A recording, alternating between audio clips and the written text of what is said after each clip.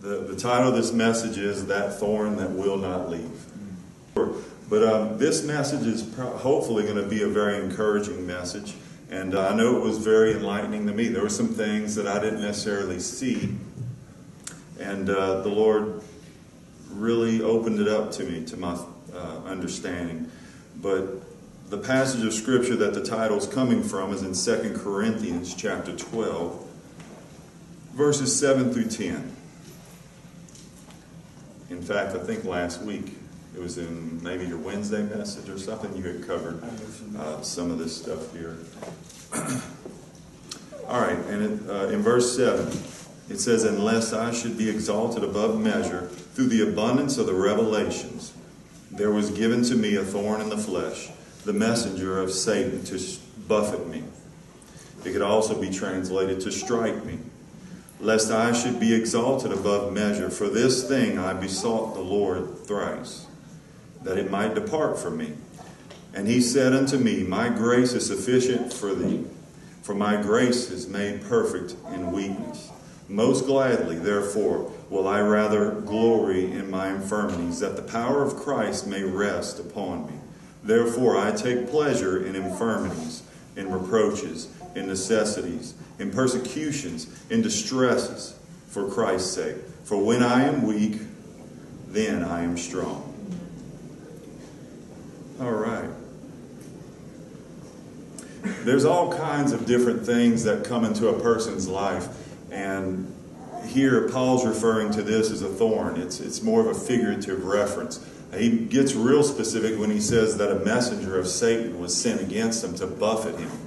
Um, I know Matt's taught on that particular word, buffet, and uh, whatever the case may be, it's, it's something very powerful coming against Paul.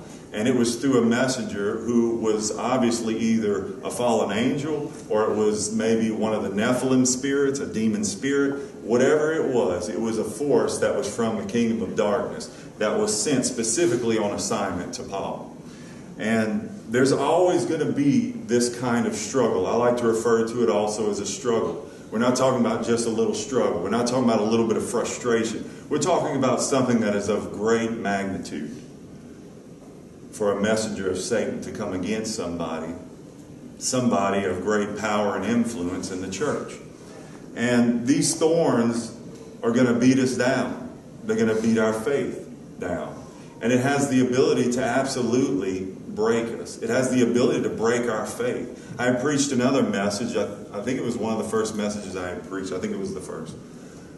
No, it wasn't the first. But anyway, uh, and it was uh, it was a message about your faith. How settled is your faith? And this kind of goes along the same lines on this this thought right here. They'll beat us down in our faith. They'll potentially break us. They could even break our faith. And people ask why when they go through these really massive, great struggles. They ask, why is there always a struggle? It's always the question, why? Why is there always a thorn? Where's there always got to be? There's always something. There's always got to be, everything was going fine. I just got over the last problem, the, the last issue, and then now this. Why? Why is there pain? Why is there suffering? Why is there premature deaths? Why do little babies die before they're even born? Why do these kinds of things happen? There's disease, there's physical pain. For you, it might be pain. It might be physical pain. It might be irritations like your spouse. It might be your sister. It might be your brother. It might be your children. It might be something that's going on with, uh, with your neighbors. Whatever the case, it could be the cause of a thorn, a frustration, something of great magnitude that just absolutely puts you against the wall, absolutely strikes you in the face or in the gut. Why, God? We ask things like, why and how long? How long am I going to have to endure this? How long am I going to have to go through this? It could be the loss of a job. This church saw a lot of people who lost jobs. And although when the industry took its downturn in the oil field, I was affected by the oil field and, and the way it can affect your job, but it was long before the downturn. I used to be a safety coach, and I would travel from rig to rig within my company, and I would help prepare them to go come out of the shipyard and go out into the field for the first time, help them to understand how to use the safety programs. And uh, I thought I was doing a pretty good job. My supervisor had given me a really great evaluation. Uh, there were some honorable things that had happened for me. I, I really was like, wow, I didn't see what was coming. But my supervisor even recommended me for, uh, for a special issue in, in our company magazine, just about me and about why I'm being so successful and why things are going so great. And I mean, I had just been uh, featured in one of these articles in this magazine. And then it wasn't long after that, I think it was maybe a few months later, bam, I mean that thorn. I'm talking about that struggle. I'm talking about the one that came out of nowhere. You just, I didn't see it coming. My supervisor was getting promoted. He's a Norwegian. For me, that was a good thing. The guy that was taking his place was an American. For me, that was not a good thing. He had other guys that he wanted to get into my position and other like positions. There were four of us. And it took me a long time to come to this understanding. It doesn't really even matter. I was asking why. Why, God? Why? I was demoted from a safety coach, which is the equivalent of a crane operator's pay, and I was brought all the way down to a roustabout, which is the entry level position. It was almost a 50% pay cut. I had built my life around the pay that I was already in. It wasn't just a struggle financial, but it was demeaning. it actually attacked me in my pride, in the, the way that I carried myself, the way that I saw myself in light of my coworkers. It was, uh, it was really, really tough. And it was in the, the time after that followed when I was scrubbing and mopping the decks with a partner that God gave me the opportunity to pursue Him in a way that I had not in a very long time. It was just me and this guy, and most of the time we weren't even talking to each other. I was able to pray. I was able to cry out to God. I was able to let my heart cry out to Him and really commune with Him, really communicate and ask Him, Why, God? How long am I going to be on this deck, mopping this deck and scrubbing and, and chasing that headache ball and that hook, chasing the crane around all over the place? I just could not understand why. Why this happened to me.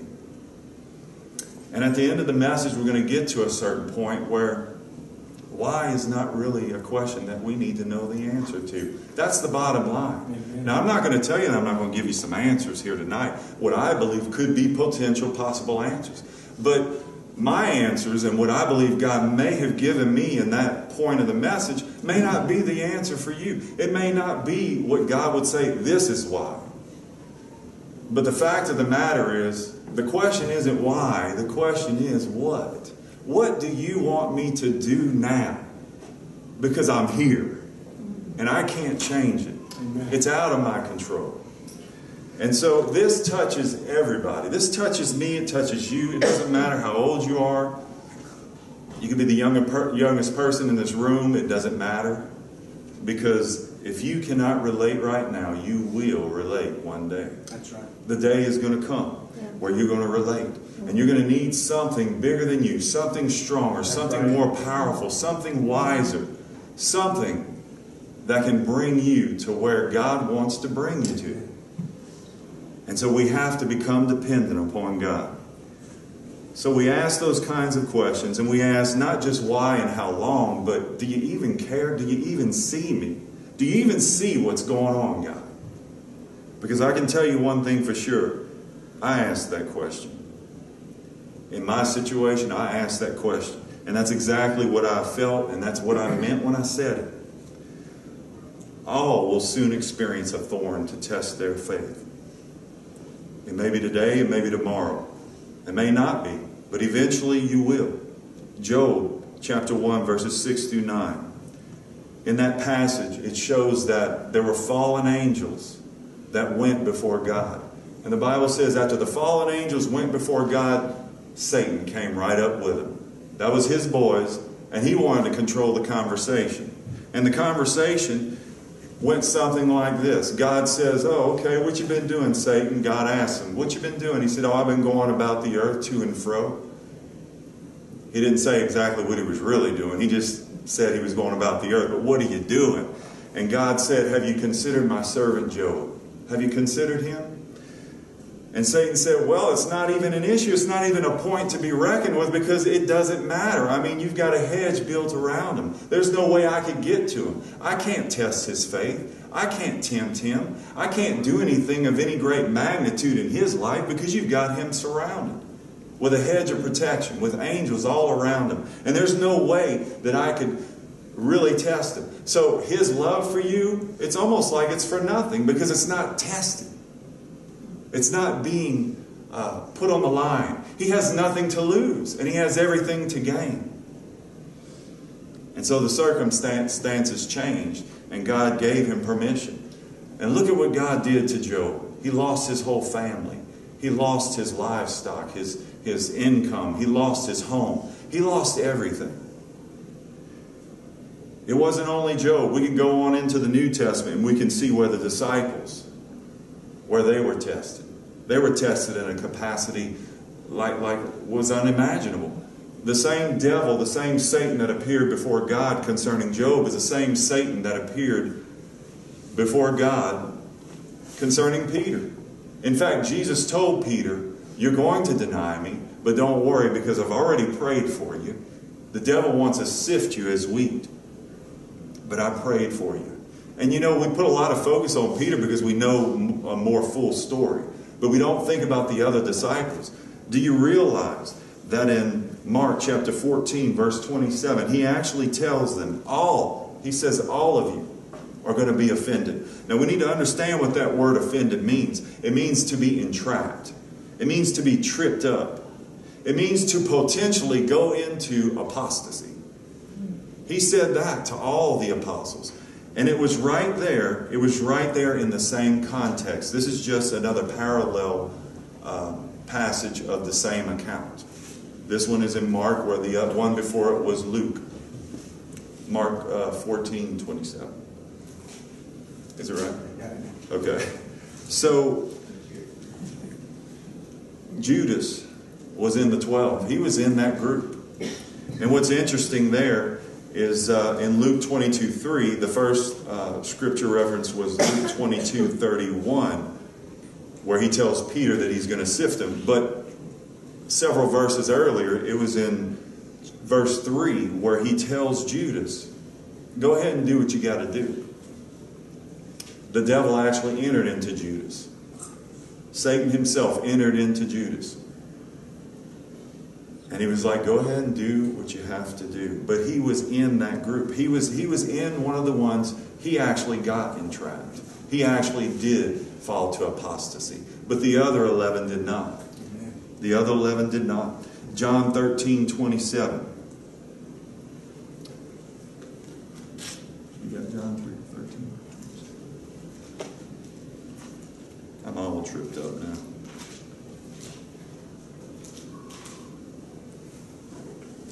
And after the sop, Satan entered into him. And then Jesus said unto him, That thou doest, do quickly. Okay, yeah. So, it's something to test our faith. It's something to test how solid and how settled we are in God. People don't always think about it, but we talk about faith, but it's, it's a matter of faith in what? What is your faith in? The question is, what does it lean on? We're putting faith and we're putting trust in a variety of different things to some extent and some degree, but when it comes to our salvation, when it comes to being able to get up another day, the question is what is our faith being placed upon? The weight of our faith must rest in the cross of Jesus and the eternal Son of God. Faith in anything else is dead weight. Putting our faith and resting it on anything else when Jesus died on the cross, before he died, his last words were, It is finished. No other work must be done in addition to the finished work of Christ. That alone saves us apart from righteous works. Titus 3 5 tells us that. That there's no other works that need to be done for us to be saved. Colossians 2 6 says, Just as you first received him, walk in him. That simply tells us that He's able to keep us after we become saved. Keeping our faith in Him keeps us. Amen. So, there's some things that we need to know while waiting how does one endure struggle? Because Paul had a thorn in him and he couldn't get rid of it. He prayed three times, and the answer was no, it's going to stay every single time. And he was just stuck with it. He was stuck with that. He was stuck to an extent. He was stuck while he was here on earth. But after that, everything was going to change. And the thing is, while Paul was waiting, how was he to endure the struggle? We have to know, there's some things that we have to know. And the first point, while waiting, something we need to know how to endure the struggle. We need to know that God is more interested in our growth than our getting. God is more interested. God is more interested in our growth than our getting. For Paul, it was that God was more interested in his growth than his getting rid of that thorn, that messenger. For some of you, it may be that God's more interested in your growth than actually you getting something that you're waiting on. For me, for four, look, it was almost four years. I went from a position that was a really great position, and I went down to a roustabout position, scrubbing decks, decks mopping the floor. I'm telling you what, I thought I was dreaming at night that I would wake up one day, meet my wife, and she'd be scrubbing in front of me in the kitchen and I'd be mopping behind her. I was doing it so much. It was like, it was all I could think. But God had something better. And I had to accept it. I had to accept this is the struggle that I'm stuck with. Adjust your, uh, your budget, build it around the new pay, make adjustments and deal with it. And put your faith in me and just trust me and don't waste an opportune time. I don't even understand why, through this downturn in the oil industry, I'm now a storekeeper. I'm now in a position that is, is it's kind of up there, definitely further up. And uh, the pay is much better, and God's blessed me, and I don't understand why I haven't been affected by it. I'm seeing guys all around me, guys, the guy that trained me for the storekeeper job, he's getting laid off. His uh, rig that he's on, this is very recent, like uh, the last time I was out, about th- almost uh, three weeks ago, they all learned at this rig that they're all getting laid off. And so now he's looking for another job. He's the one who trained me. I don't understand it. It's definitely beyond my comprehension. It's definitely humbling. It should be humbling, and it is for me. Waiting is not in style today. And patience has never been a fruit of the flesh. Galatians 5:22 says it's a fruit of the spirit. God wants to grow sons and daughters. Waiting takes time and it is essential to our growth. We have to be willing to wait on God. We have to be willing to be patient. I like what Henry Ward Beecher said about patience. Henry Ward Beecher said, There is no such thing as preaching patience into people unless the sermon is so long that they have to practice it while they hear it. I think I have the ability to accomplish that, but I think there's someone here who can do much better than. I'm just going to leave that there. I couldn't resist. I couldn't resist. God is more interested in our growth. And the thing is, David, the psalmist, he understood a lot about waiting. In fact, when you look at his Psalms and the ones that he wrote, when you read over, many of them are filled with prayers about waiting. Not help me to wait, but no, as I'm waiting. He's saying, I am waiting. Psalms 25 3. All right, Manuel, let's see how quick you are. Psalms 25 3 he says, In waiting on God indeed, let no one be ashamed. He's saying, God, don't let me be ashamed while I'm waiting on you. Psalms 25 5. Waiting on God in the scripture, it shows that it has the potential to lead us into His truth and to teach us. Psalms 25 21, waiting on God causes integrity and uprightness to preserve you. Psalms 27 14, waiting on God grows courage and strength. Psalms 52 9 says, David says, wait on His name, for it is good. And let's face it, where else would we go anyway? Right. Who else is going to help us? Right. What are we going to do if we're not going to wait? Like, what are we in our own strength? What would I have done about that job scenario?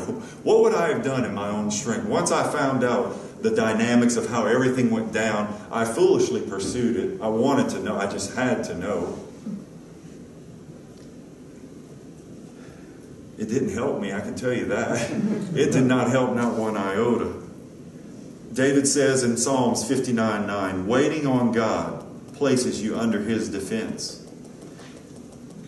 In Psalm 62 5 through 7, waiting silently for God alone. It has the ability to cause us to see him as a rock of strength and a refuge of salvation. You can't go wrong. You, you just cannot be too patient. You got to get that. Uh, it's something that we all need to learn. But the, the thing is, the only way, according to what uh, this Henry Ward Beecher was saying, is the only way to get patience is to just get out there, get in the hustle and the bustle of the world, and while waiting, let God, let Him instill it in you. It's a fruit of the Spirit. Amen. The second thing that we need to know while while we're patiently waiting and, and enduring the struggle is that we need to know how the de- devil operates. We need to know how the devil operates. Genesis 3 1. In Genesis 3 1, the serpent is imposing his lies and his confusion. And he comes to Eve with a question. That's not a good way to start a conversation in most cases. He comes and he says, Has God said, You shall not eat of every tree? And so in Genesis 3 2 and 3, she says, We may eat of the fruit of the trees of the garden, but of the fruit of the tree which is in the midst of the garden, God hath said, You shall not eat of it, neither shall you touch it, lest you die. It was, it was quite obvious what the devil was doing. He was asking the wrong question. He was trying to confuse the command. They were not to eat of only one tree. He asked, are you, Did God not say that you're not to eat of any of the trees in the garden? No, He said, Don't eat from this one tree. You can eat from all of them except for one. He done twisted and turned the whole situation around in her mind. He was working on a mass deception. Satan was working on, the, the devil. I'm talking about that slithery, slimy snake before he lost his legs. He was working on something. And in that conversation, the way Eve responded, he was able to work his way around her to where she was going to be deceived. This mass deception, Satan reduced God's command to a question and a lie. And in Eve's mind, she gave to it. After she quoted word for word, verbatim, she quoted the command that God gave, and she was still deceived. Genesis 3 4.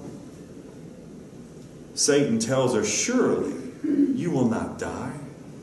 Surely you won't die. Satan planted doubt in Eve's mind about what? About the consequence of the command. The command was and God had already told it to Adam in Genesis 2:17, but of the tree of the knowledge of good and evil thou shalt not eat of it, for in the day that thou eat thereof you shall surely die. You shall surely die. What did Satan say? Surely you won't die. What did God say? Surely you will die. What did Satan say? Surely you won't die. It was so blatant. She already quoted it to him lest I die, lest we die. And he didn't say, lest you die. He said, surely you will die. This was before there was a magnetic pull when temptation came. There was no magnetic pull on Eve. I'm going to get a little deeper into that magnetic concept. The Lord gave me something, He put something in my mind, and, and I never really saw sin, or should I say temptation. It's not sin so much as it's temptation. Satan planted doubt in Eve's mind about the consequences of the command. In Genesis 3 5, he says that their eyes will be opened. That's what the devil tells her. Your eyes will be opened and you will become as gods. You will know good and evil. Now, here in his mass deception, he's, he's still working on something. He's still shaping it. He's trying to get that he's trying to get that fence into a fist into a really good clinch so he could just launch it and, and just punch her right in the gut with this temptation. Satan promised an advantage. He promised a gain to disobeying God. He promised it. There it is right there in Genesis 3 5. He says, number one, your eyes are going to be open. He said, number two, you're going to be as gods. And then number three, you're going to know good and evil. And that's his way of, uh, his premise for saying that you're going to become gods. Because if you know good and evil, you're like a god. Satan promised this advantage. And in doing so, he was teaching Eve to trust the devil rather than to believe God. There is never any gain to disobeying God. The advantage was all in Satan's favor. Satan's favor. Eve would soon become the loser.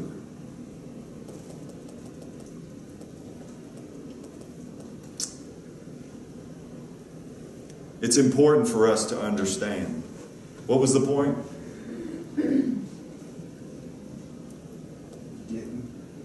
The point was know how the devil operates. Yeah, I moved on to the next we have to know how the devil operates. And if you go through the Bible from Genesis all the way to Revelation, you'll see the manifold functions. I mean, there are so many, uh, just a variety of functions of what the devil does. He lies, he deceives, he tempts, he provokes, he hinders, he disputes, he contends, he casts, he tests, he tricks, he ensnares, he enters, he possesses, he binds, he chains, he afflicts, he punishes, he weakens, he imprisons, he torments, he shakes. He shook the nations. He condemns, he slaughters, he buffets, or he strikes. He walks, he seeks, he roars, he devours, he steals, he kills, he destroys, he murders, and he fills with lies. But the last one is the most important. He flees. Despite all the damage that he does, we have been given power to cause damage to him. Despite the damage that he does to us, despite the damage he's done out there, we have been given the power to submit to God, resist the devil, and put him on the run to where he has to flee. Praise God. In the Greek, the word flee in that scripture, which I don't have the reference, but where he says resist the devil, it means to run away, to escape, to vanish, to seek safety by flight. I like Noah Webster. You know I like Noah Webster. I brought him out in another message. Noah Webster talks about fleeing, and he talks about it just simply being to depart, to leave, to hasten away. Make haste, in the name of Jesus. He has no place, he has no authority. If we're submitted to the will of God, we're submitted to the cross of Jesus, if we're walking in the Spirit, and that's the only way to walk in the Spirit, is if we've been baptized into Christ. And we know that, and we know about that. It's important to know that. We don't just simply need to know how the devil operates, but we also need to know how the human heart operates. It's important. While you're waiting on God and you're enduring your struggle, while you're enduring this storm, whatever it may be, you need to know, you need to know how the human heart operates. That's the third thing that we need to know. 1 Timothy 2 4 talks about how the woman being deceived was in transgression. Although she was deceived, she was blindsided, so to speak. You can word it any kind of way that you want. Although Eve was deceived, she was still in transgression. Sin injected and infected into her bloodline. What did Eve do? She saw. She was pleased. Then she desired it. She touched it. She took it. She ate it. And then she gave it. And what did he do? He ate it. James 1 14 through 15. But every man is tempted when he is drawn away of his own lust and enticed. Then, when lust hath conceived, it brings forth sin, and sin, when it is finished, brings forth death. How many times have our heart's desires led us into the same old temptation? The fact of the matter is, is we cannot be tempted of anything we don't already want. He can attempt to tempt, but if it's not something you like, there's no pull, there's no draw. The temptation is a useless one. And so that's what causes us where we can't just put it all on Satan.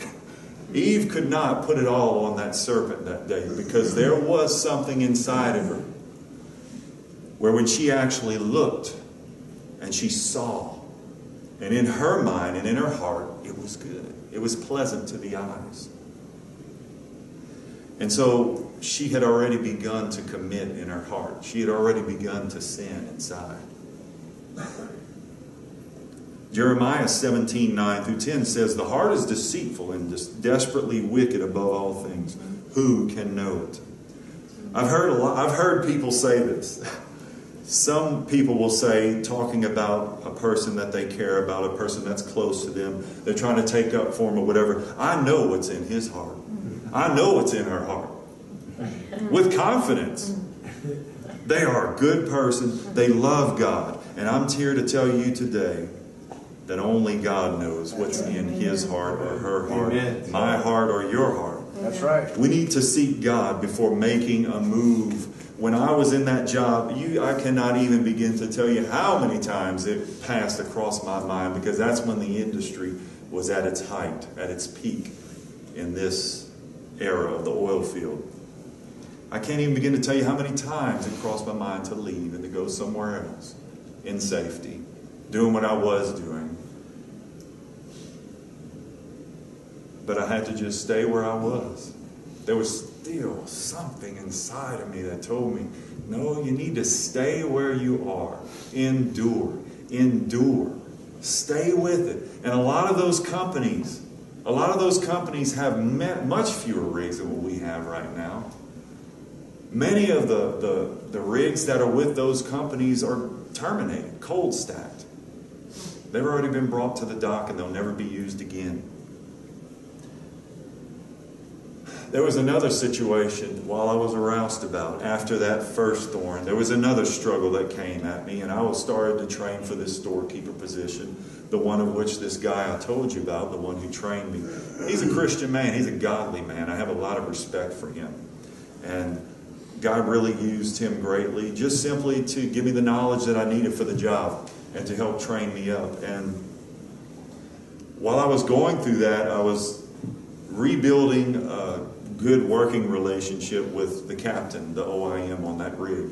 And when I say rebuilding is because it was like just it was very much up and down with him. It was very difficult to maintain a solid working relationship with him. And by the grace of God, uh, things got turned around. I started working extra shifts offshore. I would work, work an extra week when there was an opportunity to do it. And he saw that like I was helping my company, not that I was helping my wallet. So God turned that around and he used it in my favor. It was, it was at a point one day he told me, he said, So you're going to be a lifetime roustabout, aren't you? I was like, Well, that's not my goal. And he was like, Well, as far as I'm concerned, you are. And so God took that kind of a working relationship and turn the whole thing around. Yeah, I noticed you've been working over a lot. You've been working these extra weeks. You're helping the company out, you know. And I was like, hey, praise God. Yeah, I guess I am helping the company out. And the Lord made a way. And He said, So you've been training. I know you've been uh, working toward uh, getting this storekeeper job. The big deal with Him was He wanted me to be a crane operator. I don't know why. He had it in his mind and in his head I was going to be a crane operator. I used to work at the Mr. Charlie Rig Museum in Morgan City. I did some crane operating there. It was absolutely nothing of the likes of working offshore, doing dynamic lifts from a boat that's rocking all around. This is not at all comparable. It, doesn't even deserve to be mentioned. I, I, don't. I didn't deserve to be called a crane operator, to be honest.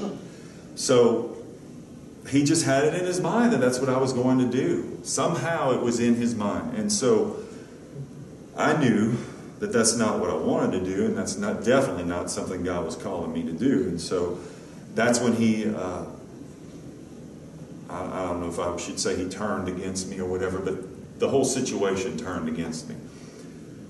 And so it got turned around the other way. He's for me, he's pulling for me, he's encouraging me, he's promising me.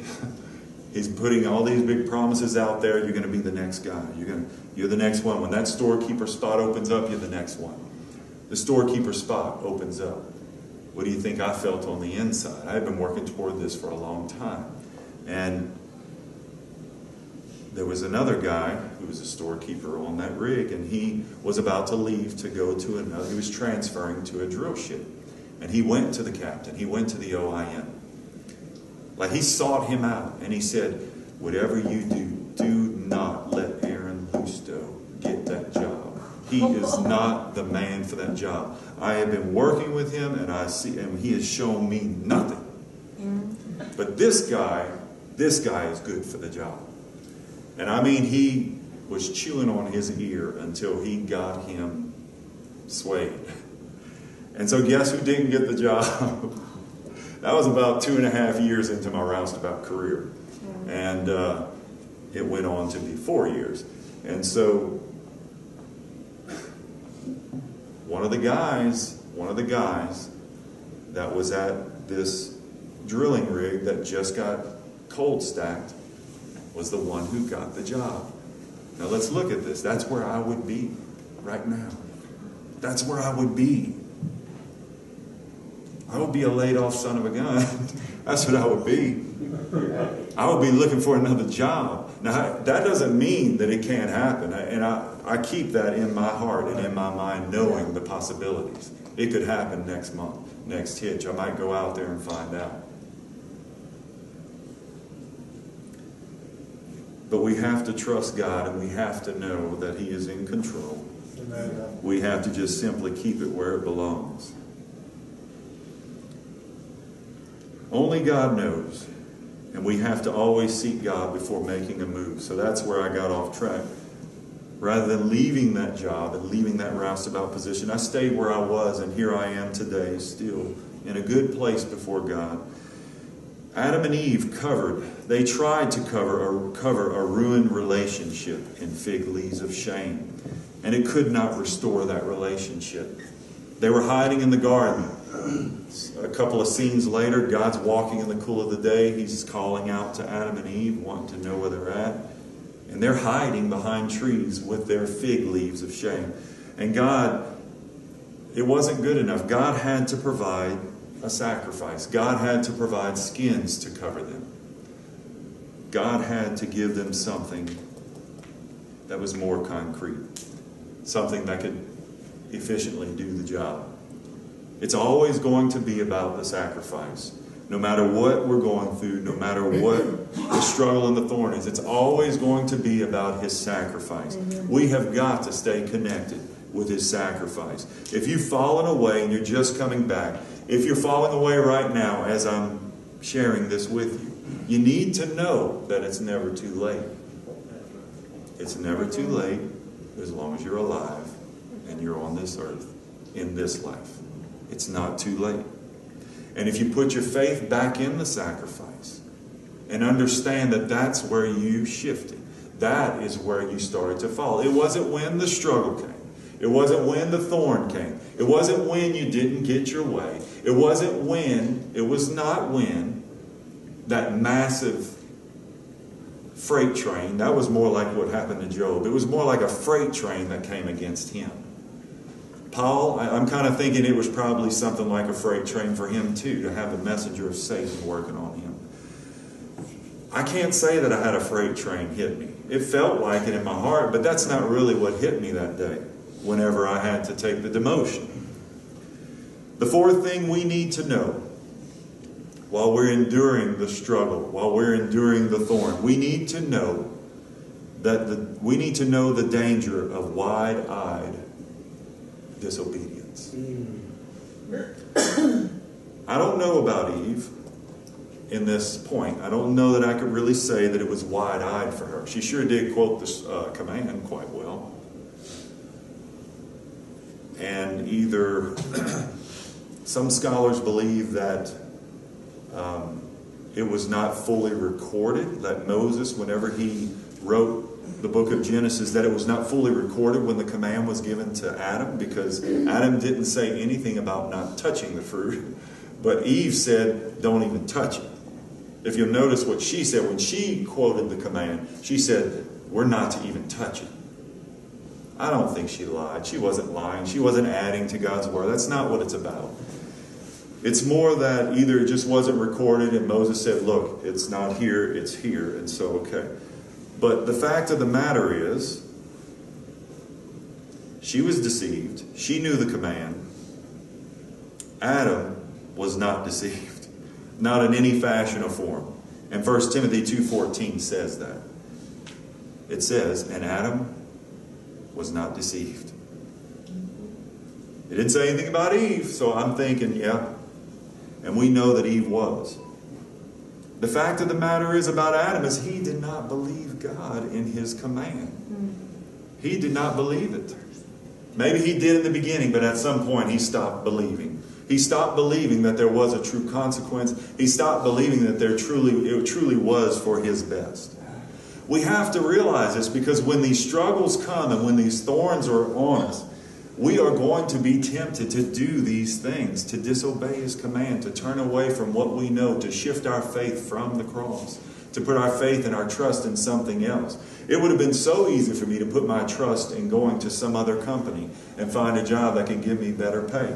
But for me, I can't say for you what it would be, but for me in that context of that day and what I was going through, I needed to just stay where I was so God could teach me something and He could deepen my relationship with Him so I could learn more about how to pray while I'm scrubbing and mopping decks on a rig. Come on, brother. I did learn too. I got pretty good at it. Amen. If we go home tonight and we go purchase us a scrub brush and a mop and get us a bucket, we could definitely make that kitchen floor shine. Adam was not deceived, and the fact is he did not believe God. His duty in Genesis 2:15 was to dress and keep the garden. He was just simply to dress and keep the garden. That's all his duty was. All Adam had to do was dress and keep. Before Adam was created, the Bible says, the scripture says in Genesis that God said that there was no one to till the garden. There was no one to till the ground. That was his job. He was then created so he could dress and keep. To dress is to labor and work. I'm talking about tilling some ground. Genesis says there was no man until prior to Adam's creation. There was no one there, no man there that could do it. To keep is to guard, to watch, to ward, as in to ward off, to protect, and to save life. Adam could have saved Eve's life. He could have saved her from that death, from eating of the tree. We don't have any proof that Adam was there when the conversation went down with the serpent. There could have been a gap there. I'm not sure, because if you read the text, Genesis 3 5 through 6, there very well could have been a gap between when the serpent had the conversation with Eve and when Eve is at the tree and she sees that it's good. He could have been having the conversation right there in front of the tree. Okay, I don't know. The Bible doesn't give us specifics about that. But one thing that I do know, one thing that we can be sure of, is that in Genesis 3 6, it says, She took of the fruit thereof and did eat, and gave also unto her husband with her, and he did eat. Other versions say she gave it to her husband who was with her. We have to understand the thought and the context of this trans of the translation of that. He was there. He was there when she ate of it. He saw what was about to happen. He had the ability and he had the power to save her life. He could have saved her from this death that she was about to step into. He could have kept her from touching it, taking it, eating it, and certainly not accept it when she gave it or eat it, much less, much less to eat it. Why didn't Adam? Why? Why didn't Adam ask her? Who told you you could eat that if he wasn't in the conversation? Okay? What if he wasn't there when the devil told her? all these things and deceived her.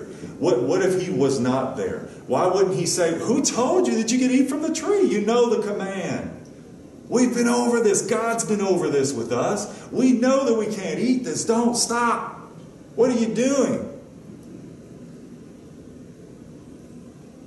Adam had knowledge and experience that Eve didn't even have. Adam was created before Eve.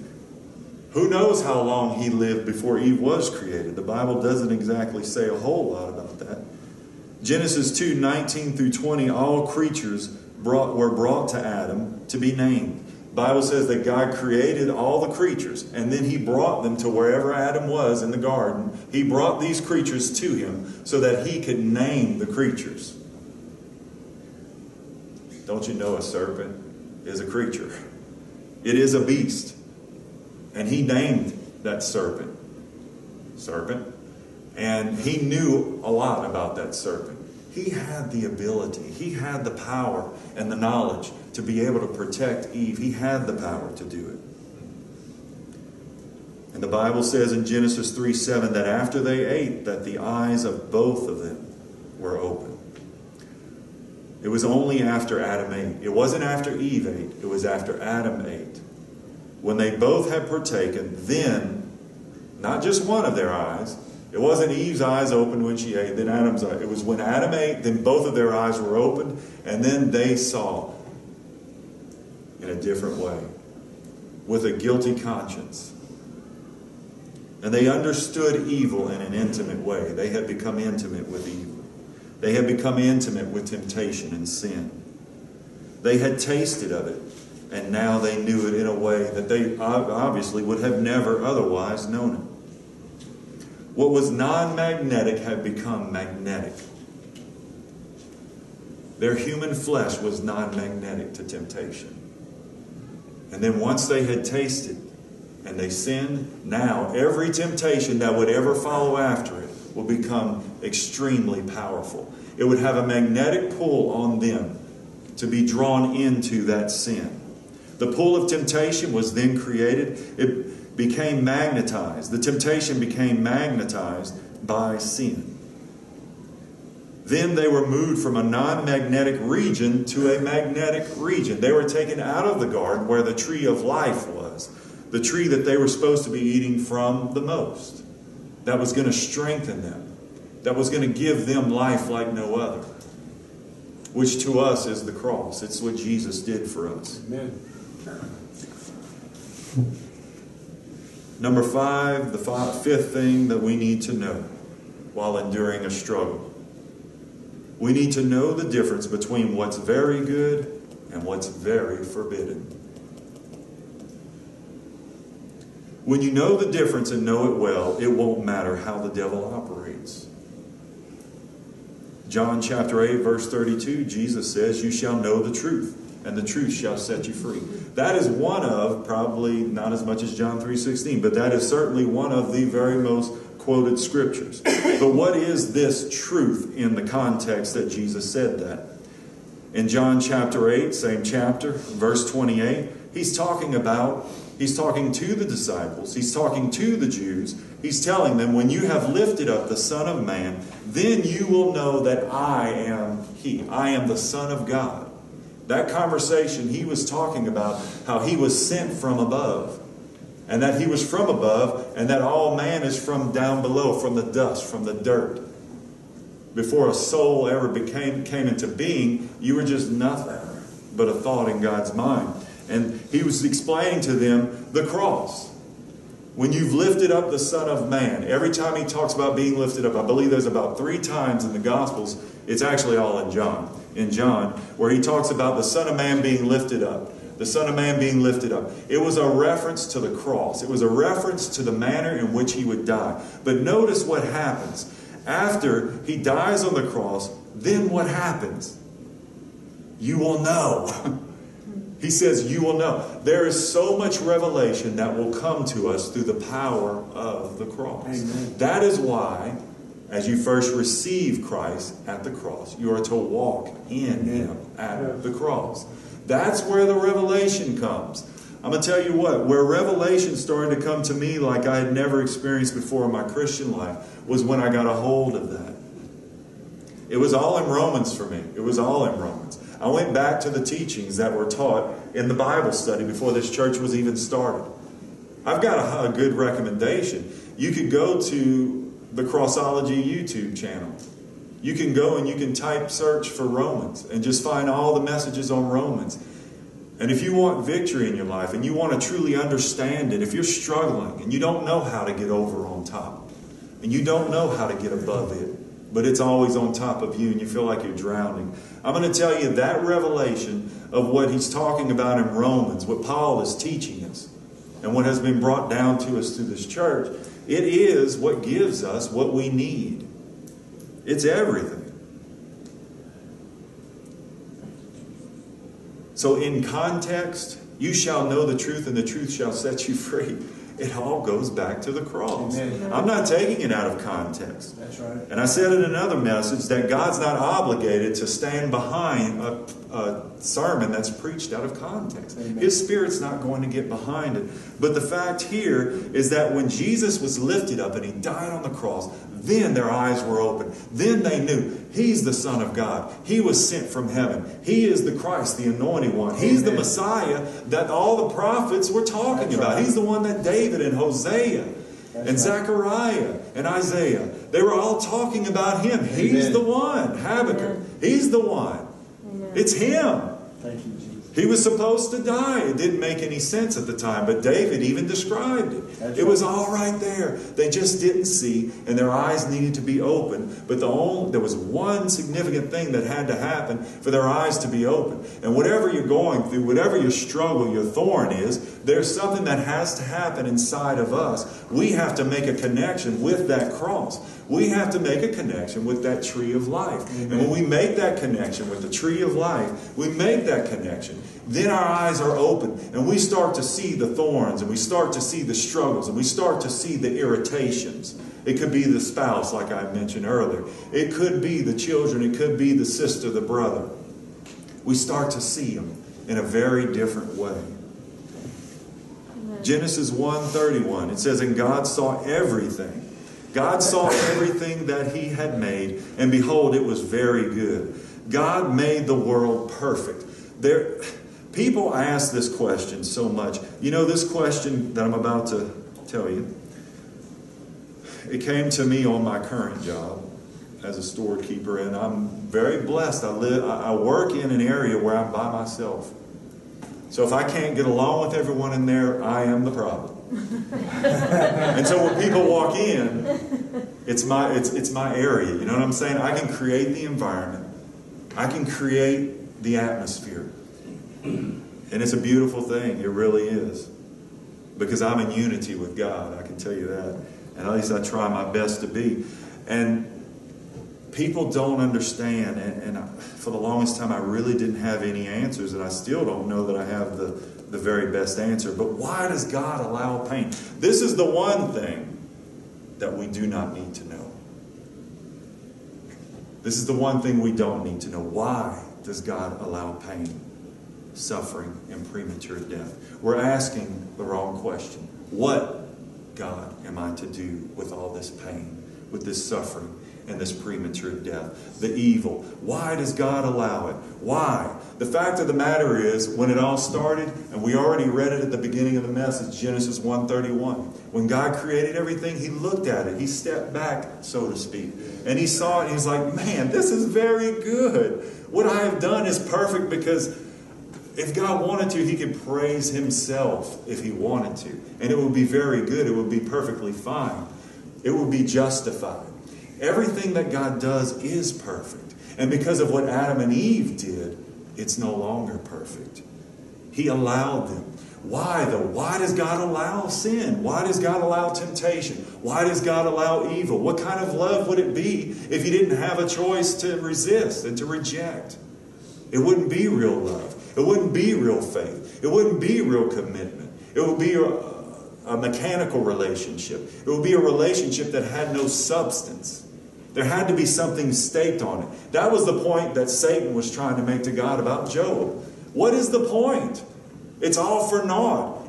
I can't get to him. Nothing's ever going to go wrong in Job's life. He's the most wealthiest man on the earth. He's got everything. He's got a lovely family. He has no needs. And then God said, You know what? Okay, fine. Not that it's going to matter. All right, go ahead, but you can't kill him. And he allowed him. He allowed him to do his thing.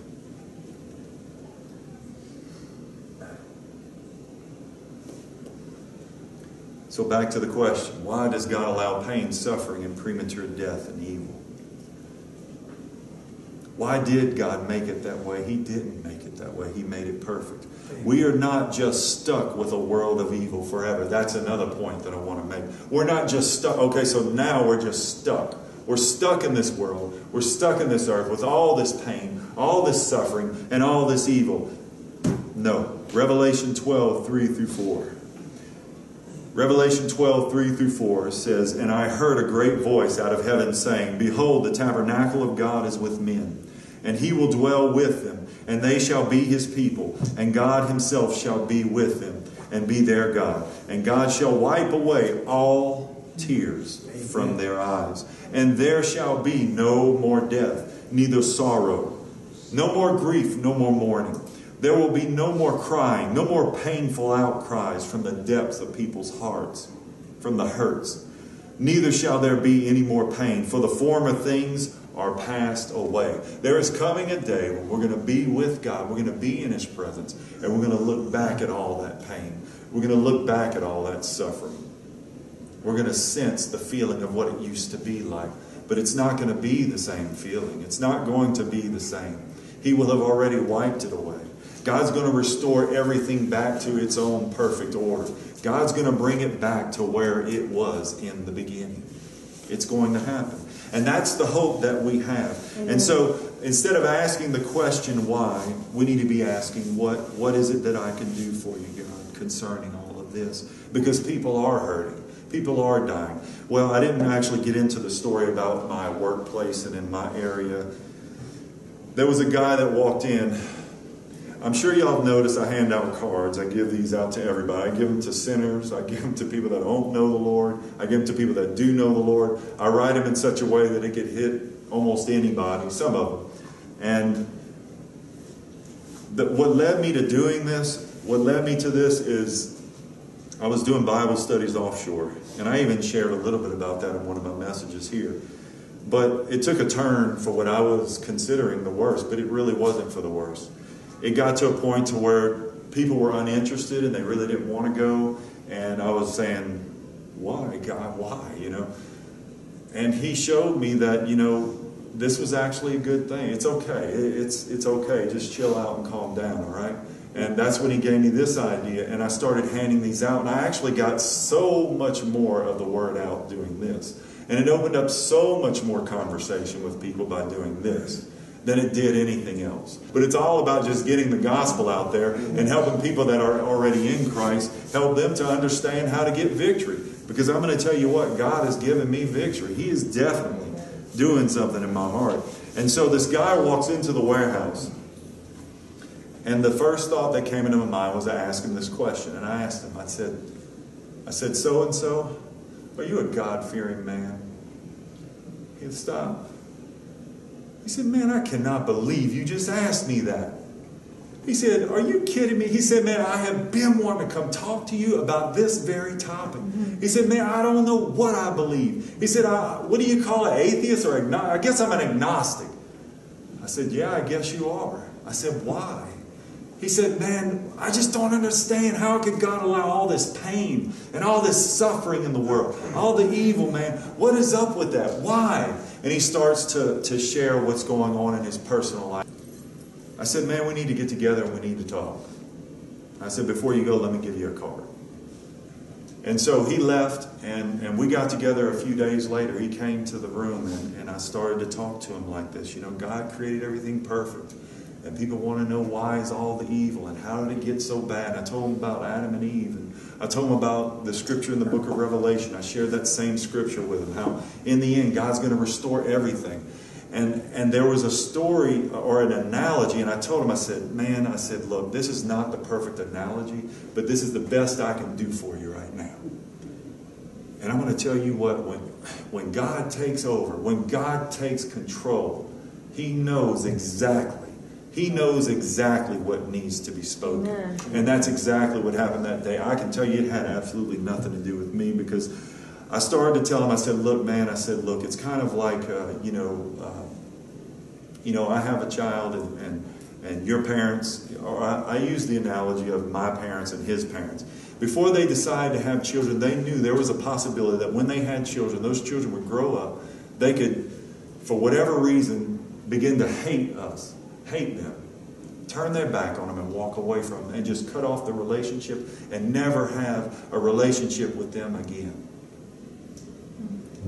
And I said the same potential for a bad relationship to come from it is there for a loving, strong relationship. And because of the potential for a good, strong relationship, my parents made a decision. They said, No, we're going to have kids. And your parents said, No, we're going to have kids. And I said, But it doesn't change the fact that it gave them a choice and you have a choice. And he stopped me right there and he said, Aaron, I cannot believe you just told me that story.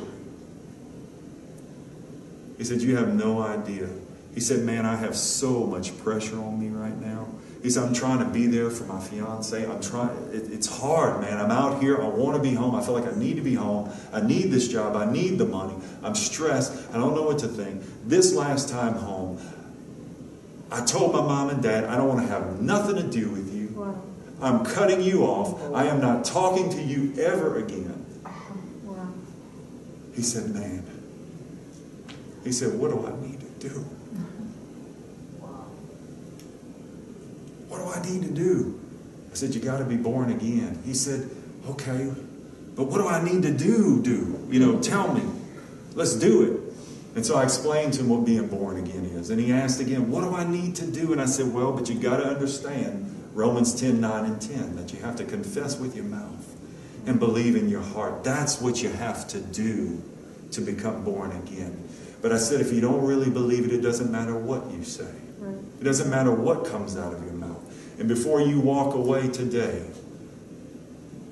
it needs to not matter what happens when you walk away. You have made a decision. and so we prayed that day, and he received the Lord. Lord. And I'm going to tell you what, that to me was one of the most fearful questions that I have ever had to face. And I've faced it before. That wasn't the first time. To answer that question, why? Why does God allow all this?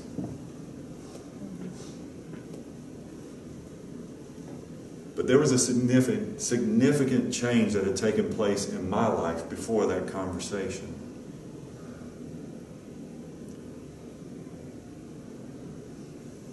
There's another thing that we need to understand about sin and what happened that day that Adam and Eve fell in the garden. Sin has disrupted creation's divine order. Since Adam and Eve disobeyed God in the garden, there's been hurricanes, there's been typhoons, tornadoes, earthquakes, tsunamis, all kinds of things, completely and totally out of the order of nature and the way that God created it.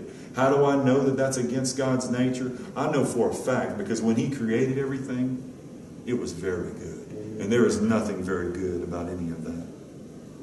Look at Joseph. Joseph said in Genesis 50 20, What you thought for evil against me, God has meant for good. He told his brothers that what you thought for evil against me, God meant it for good to save many people. Pain, this is the real point, I think. Pain is God's servant. God wields pain and uses pain for his own purposes. God doesn't cause pain, God doesn't send pain, God allows pain. Because Satan had to get permission before he could do anything to Job. Satan had to get permission before he could do anything to Peter and the rest of the disciples. Satan had to get permission to do what he did to Judas. But Judas had already committed himself over to Satan. We can't forget the will. Judas made his choice. Peter and the other disciples made theirs. God will allow people, pain, and other instruments of struggle to break us down and humble us before Him.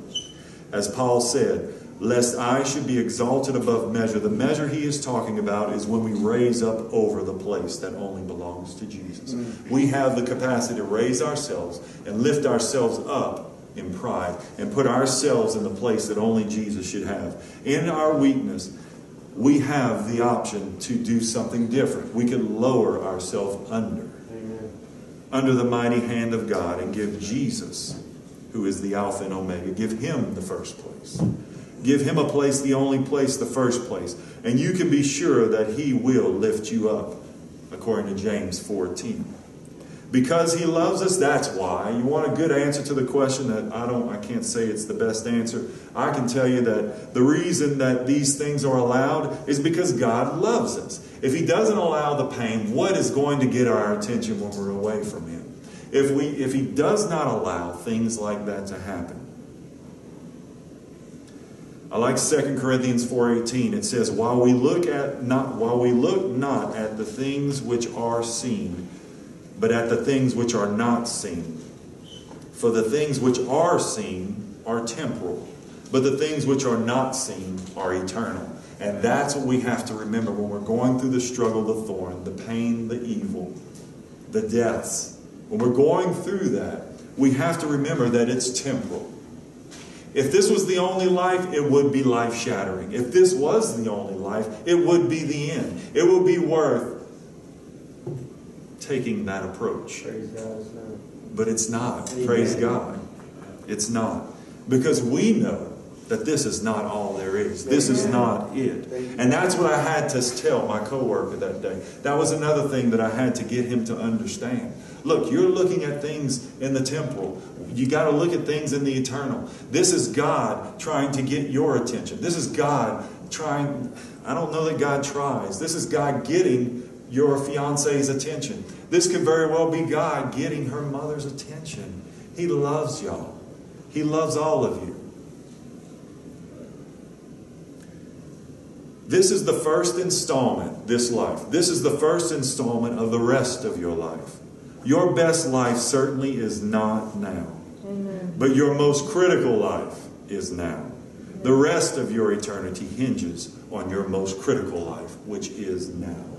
Hebrews 12, 2. Let's look at Jesus. He persevered, he endured. Looking unto Jesus, the author and finisher of our faith, who for the joy that was set before him endured the cross, despising the shame, and is set down at the right hand of the throne of God. Look at what he endured. Look at his thorn. Can you even call that just a measly struggle? What he endured strengthens us to endure. Check that out. What Jesus endured is what strengthens us to endure. He is the greatest example of patient endurance in the face of the most powerful temptation to quit. One thing that we need to be resolved of is that no matter what it is that you're facing, you can't quit. You just can't. You can't afford to. You don't have enough money to pay for what Jesus did. That right there is where it's at. In your surrender to Him, understand that His will is to establish complete dependence on Him, which is the best possible condition a man or woman could be in. It doesn't matter what the circumstances are that would bring you to that place, but to be in complete dependence on Christ is the best possible condition that a man or woman could be in. Would you please stand with me? His strength will not coexist with yours. He wants you depending on His strength alone. When that which you have hoped for is delayed, it might make your heart sick. But when the desire is fulfilled, it is like a tree of life. Proverbs 13 12 says that. You can boast in the strong arm of the Lord because while you are patiently waiting, He is strengthening you. His grace is sufficient for you. 2 Corinthians 12 9. And so I want to get back to I want to get back to the theme scripture in closing. That's what he said. My grace is sufficient for you, for my strength is made perfect in weakness. And most gladly, therefore, he says, I will glory in my infirmities, that the power of Christ may rest on me.